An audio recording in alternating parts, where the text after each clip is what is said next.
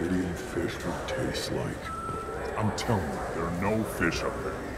I hear an Erdnot went up there once.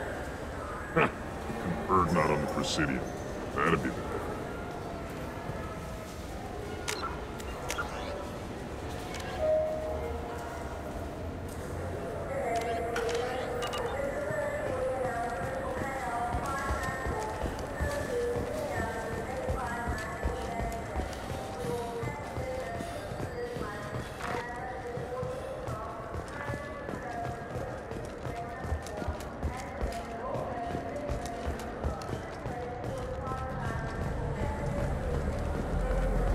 10 credits, we offer data protection for any game we sell.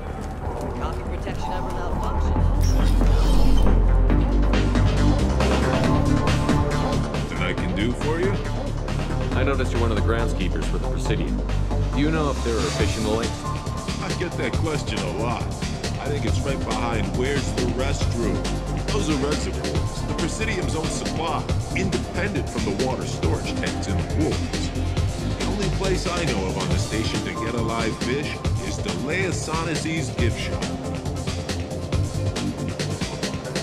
When I pour a glass of water, it's the same stuff that tourists throw garbage in?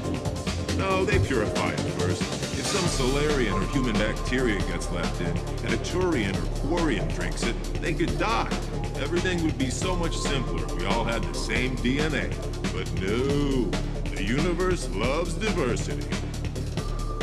Thanks for your time. No problem. If you get up to the Presidium, check out the Demaio flowers across from the conduit. They're coming in very nicely.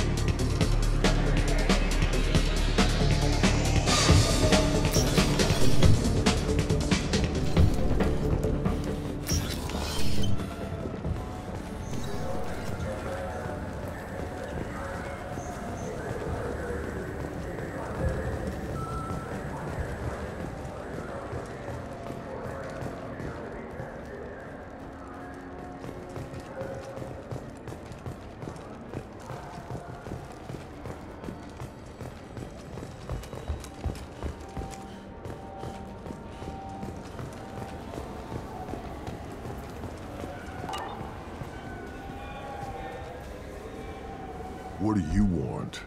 Why are you so interested in fish from the Presidium? It's so decadent. Eating a fish from the Presidium would be like screwing Sha'ira. Ugh. Sorry you're so squishy.